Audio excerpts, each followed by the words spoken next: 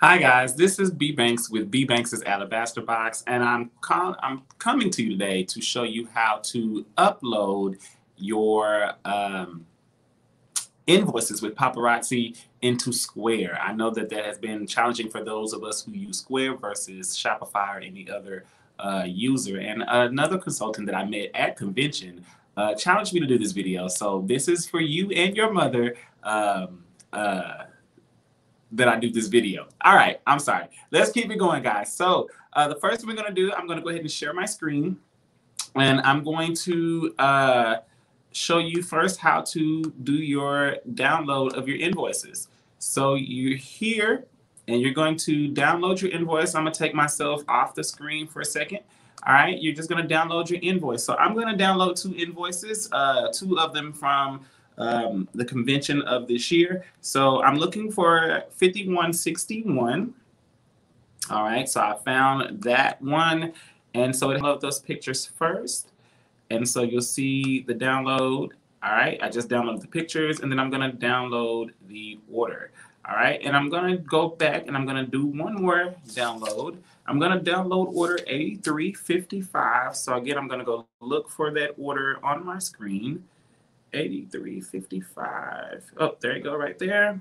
All right, it has some of those Z's that are on there. And again, I'm going to download my images. All right, it's downloading.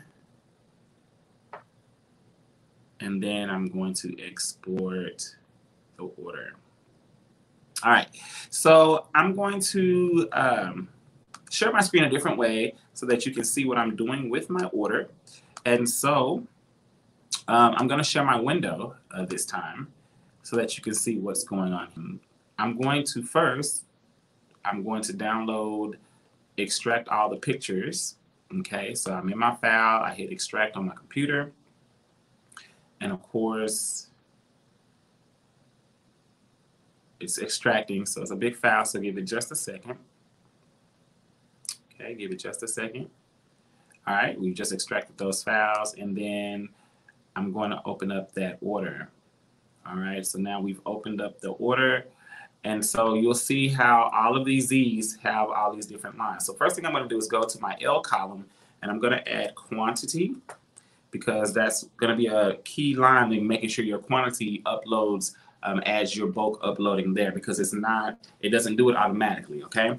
So we add that quantity line and so we go through. So what I've noticed is that I have in rows two through uh, eight is all the Janing. Well, the way that Square works, it doesn't recognize all these blank lines. So you can't have them. So I'm going to go back and I'm going to only keep the first the first line of each item and I'm going to delete anything under that that is not needed. So we're going to go in two through eight, I mean three through eight, we're going to delete because those are repetitive. Um, we're going to go, we're going to keep line three now because that is the first line for the Tanisha. But we're going to go through and we're going to delete these extra ones here. Then we're going to see the Missy is there. We're going to go and delete the extra ones for that one. Then the Danielle will do the same thing. And notice I'm only deleting where it says two, three, four, five, six, seven over here on the side. Nothing that has a one in the image position. So the image position, we're keeping anything with the one, we're deleting anything that does not have the one. The reason why is because those will give us an error when we go to upload them. So I'm going to delete those and keep it moving. All right, we're almost done. All right, there was 10 Z's and almost there. All right. All right, and delete these picture. I mean these, because these only come up as like an image. That's another reason why they don't um, recognize them. All right, and I think that is our last one. Make sure I didn't delete any. So I should have 10. Let's count to make sure we have 10. That's 1, 2, 3, 4, 5, 6, 7, 8, 9, 10. Great. All right, so in our quantity, um, I know that I only ordered two of each of these uh, so I can easily go and put, but you put whatever the quantity is that you ordered of these. I know that I only ordered two, so therefore I put two in the quantity. And then I just simply hit the save at the top. Now that that's saved, we're gonna go over to our Square dashboard. And now we're going to take a look at the Square dashboard. So um, when you get to your Square dashboard, you're going to go look for, scroll down and look for the items here in the left, and you're going to click on items.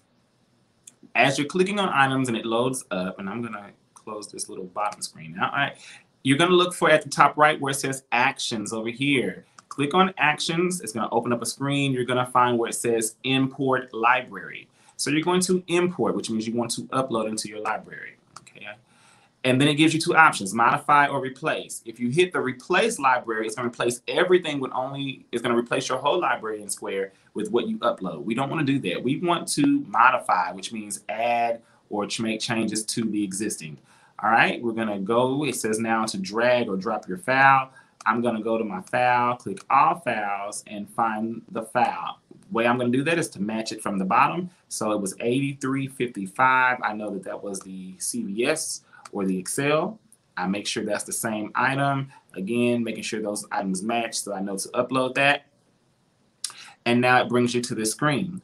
You're then going to go, the token is none. There's no token for any of our items. Your item handle is going to be the, your item name will be your title, I'm sorry. Your description will be the body HTML. It's going to automatically put those items in there.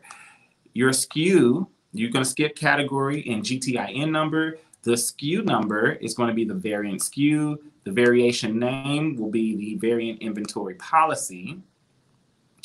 And then your price will be the variant price from the drop down list. And your new quantity will be the line where you added quantity. That's going to be where you get. So quantity will be there. So now you'll see it, it drops quantity down here.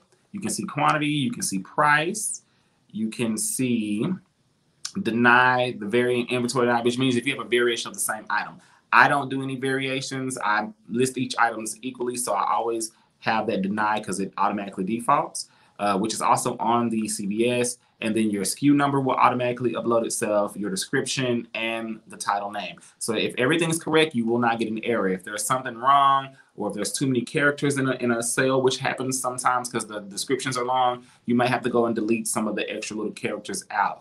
Um, but usually it's the extra characters. When I say extra characters, I'll, characters, I'll show you what I mean in just a second. So you'll hit confirm, you're gonna continue and overwrite. And now it's going to upload um, that, that uh, invoice. Give it just a second. You see it's at 85.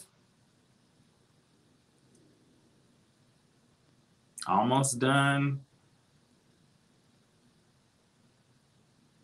And now you see where it says successfully imported that. So now I don't do anything else from this item screen. I actually go back to my home screen. And then I go to the online side so I can show you what I mean. So now we go online. And we're just waiting. Okay, there we go. Online. I thought I clicked it. I didn't. And from the online side, it's loading. We're then going to click on uh, the title items on the left-hand side as soon as it finishes loading. Okay, we're going to click on items and then site items. This is where I actually go in and upload these items physically. I've uploaded them in the system, but they're not active on my website yet. Okay.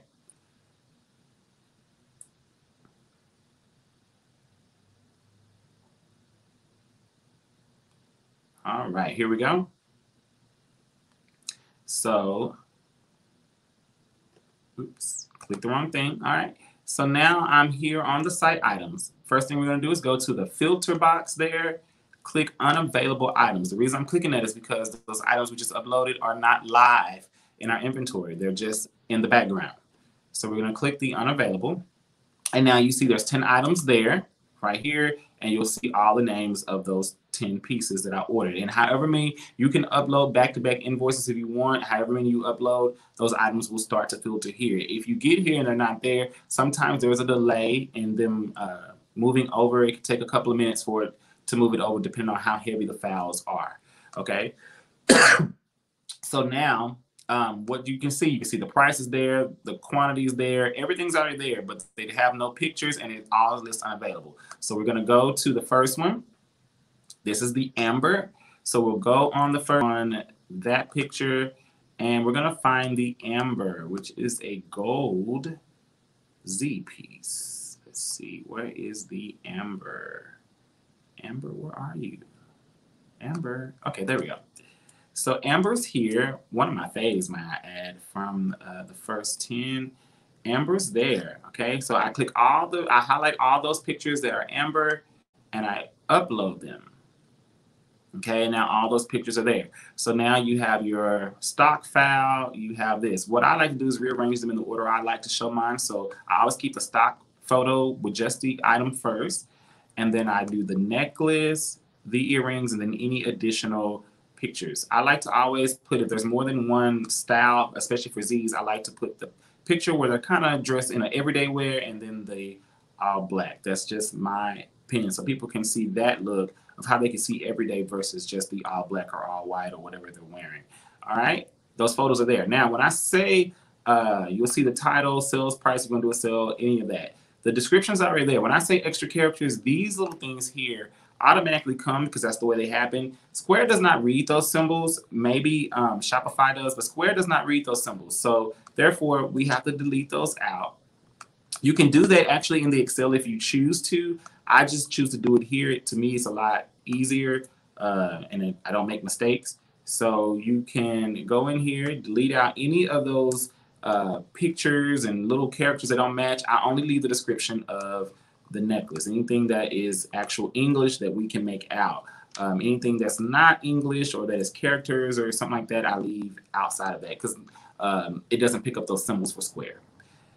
Then where it says unavailable, hidden, or visible, you can hide the item, but it be in the inventory, but nobody will see it but you. It's unavailable right now, so nobody sees it, not even you when you go on there. Or you can do visible. I'm going to make the item visible. I'm going to pick my fulfillment options that I use. You can see your quantity, your item SKUs there, and then you would choose your category if you have categories. For me, I do have a category for my website, so I'll go down, I'll click my Z collection, I'll save that category and then I will hit save right here at the top. And now that item will be live on my stuff. Now you see I'm down to nine items, so it takes it off. And that item is live. If you want to know if the item is live, you will just close out that filter. We're going to go search Amber in our inventory, and you'll see the Amber will pop up as a live item now in our inventory. All right.